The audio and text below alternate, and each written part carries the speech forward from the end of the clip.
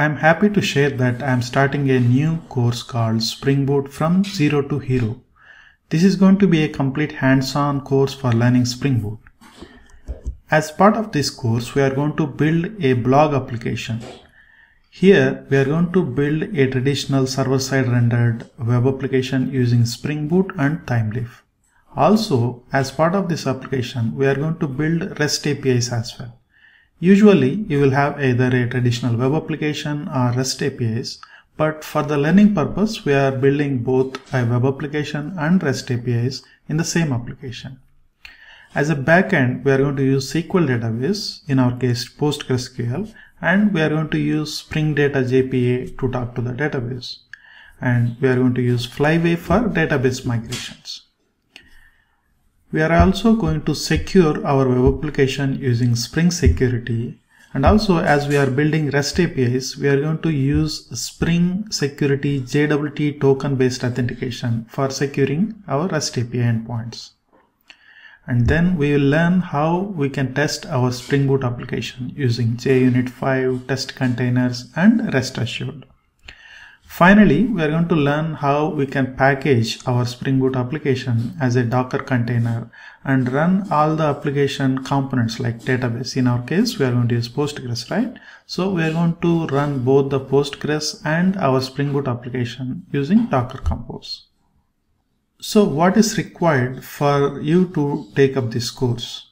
So I would expect the people who are planning to take this course to be familiar with core Java and if you are familiar with spring framework that is nice to have. Otherwise i believe you can follow along this course and then learn spring boot.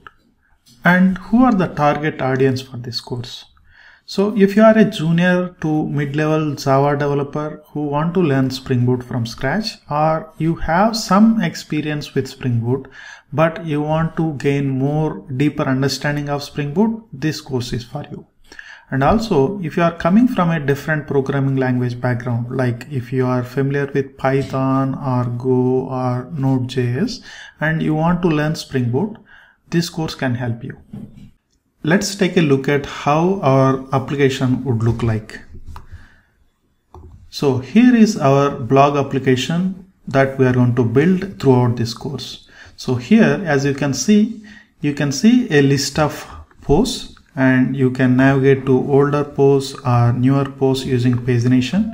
And also you can look at one particular post details. Here you can see who posted it on what date and you can see the post content. And also if there are any comments you can see like this. Or you can create a new comment to an existing post. So here I would say okay let me create another comment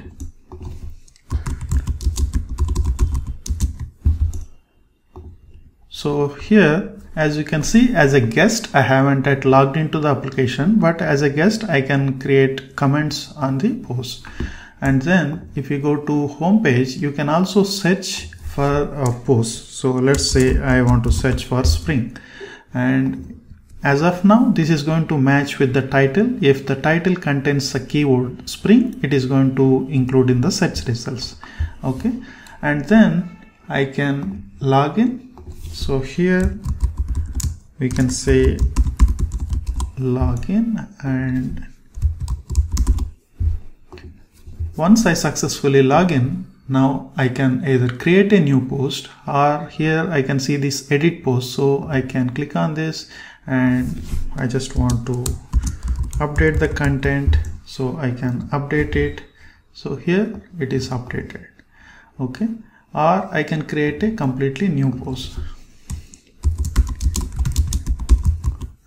so automatically it will uh, take the title and convert it into slug but if you want to change it you can change it and then you can write whatever the content you want to write.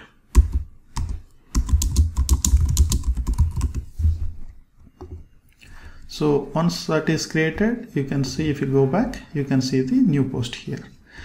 Also we have validations in place. Let's say we have title slug and content. They are all valid uh, required fields. So if you do not enter any of the mandatory fields it is going to show these are the required fields.